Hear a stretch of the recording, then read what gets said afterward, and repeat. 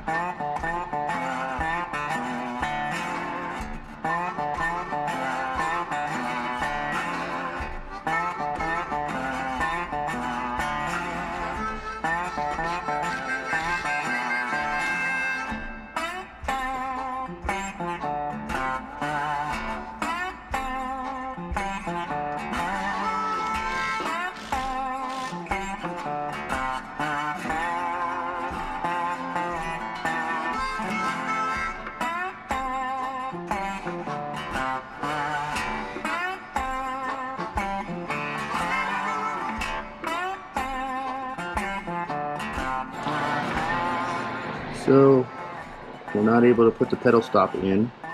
So what we're going to do is we're going to actually cut it thin up here.